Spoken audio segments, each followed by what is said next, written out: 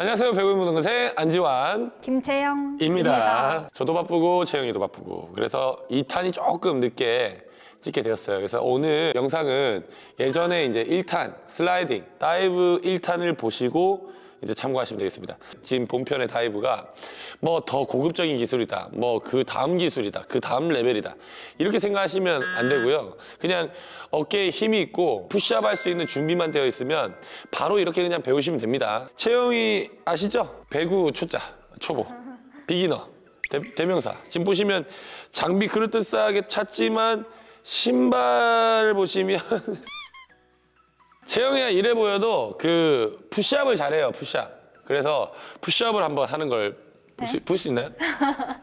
다섯 개? 다섯 개요? 아 좋다 좋다 자 하나 둘 보였죠? push up 다섯 개 정도는 한다. 아, 요 정도의 컨디션이면 지금 찍는 영상을 따라서 dive를 배울 수 있습니다. 처음에 1단계는 무릎을 이렇게 나란히 한 상태에서 push up이 내려가잖아요. 내려갈 때 이렇게 chest, 가슴, 웨이브 이렇게 보시면 웨이브 팔팩입니다. 웨이브.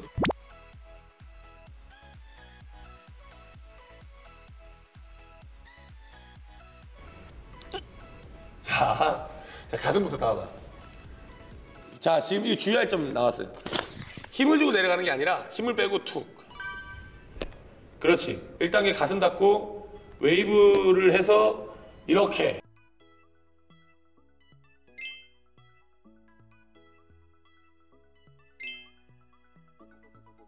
그래서 이제 2단계는 툭.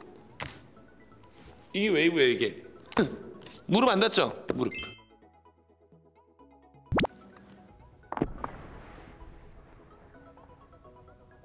그 상태에서 툭. 그렇지. 오, 나쁘지 않아요. 오, 됐어, 됐어. 됐다, 됐다. 봐, 봐. 오케이. 여러분, 됐어, 됐어. 그만해. 자, 3단계는요. 다리 하나 들고 요렇게 하는 거예요, 요렇게.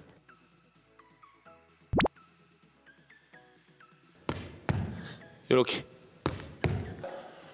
와, 너무 쉽잖아요. 그죠? 너무 쉽죠? 네. 어려워요? 아니요. 자 이제 4번입니다. 4번은 이미 다운돼 있는 거야 이렇게. 자 이렇게 이 상태에서 이렇게 오면 돼요. 떠 있어요, 떠 있어요. 보이죠? 이 상태에서 다리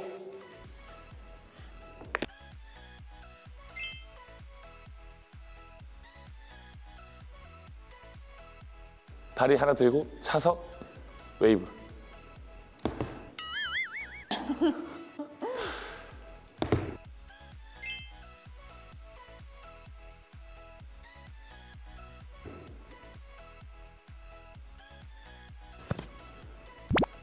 오, not bad.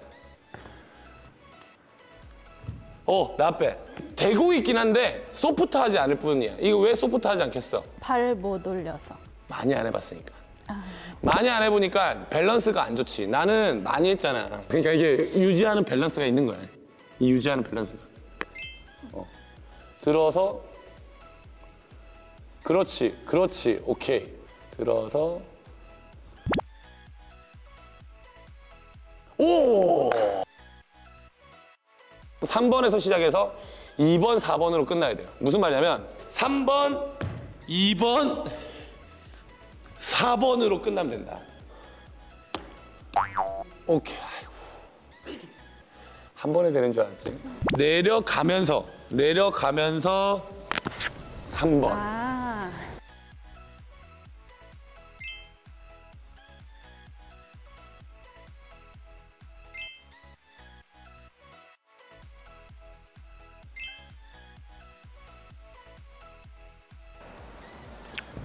됐다!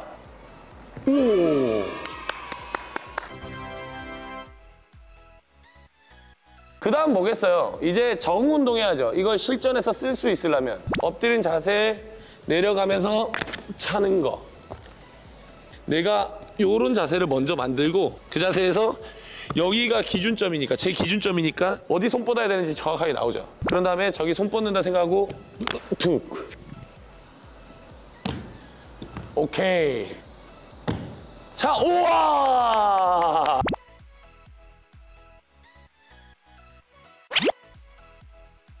이거 다음에 하는 것이 이제 모션 하나 넣는 것밖에 없어요. 모션 하나 넣고 똑같이 엎드려. 똑같이 엎드려 웨이브. 이거 이거밖에 없어요. 그 다음에 뭐겠어요? 이 모션에 공 맞추는 거 하면 돼요. 그런 다음에 나중에 달려서 점프 뛰어가지고 웨이브 하는 것까지 하면 끝나는 거죠. 잘했어. 채영이가 이제 다음 단계는요 많이 해보는 거거든요. 많이 해보는 거는 이렇게 뭐 30분, 1시간 이렇게 배울 수는 없어요. 이 skill은 이렇게 짧은 시간 내에 도달하고 이제 완성시킬 수 있, 다. 근데 경험이라는 거 내가 학습에서 감각적으로 이걸 할 수 있다 없다는 굉장히 시간을 많이 들여야 돼요. 반복 연습을 해줘야 된다는 거죠. 낙법은 이렇게 30분 안에도 완성은 시킬 수 있다. 다만 계속 운동해야 돼 계속. 그래서 지금 오늘은 어깨 이슈가 있을 수 있기 때문에 그만, 그만하고 채영이를 통해서 비기너도 할 수 있는 거를 보여드리고 있는데 그런 거 궁금하신 거 있으시면 댓글 남겨주세요. 그러면 또 그런 영상을 한번 찍어보도록 하겠습니다. 유익한 영상이 되셨다면 구독과 좋아요 부탁드리고요. 다음에도 유익한 영상으로 찾아뵙도록 하겠습니다. 다음에 만나요. 안녕.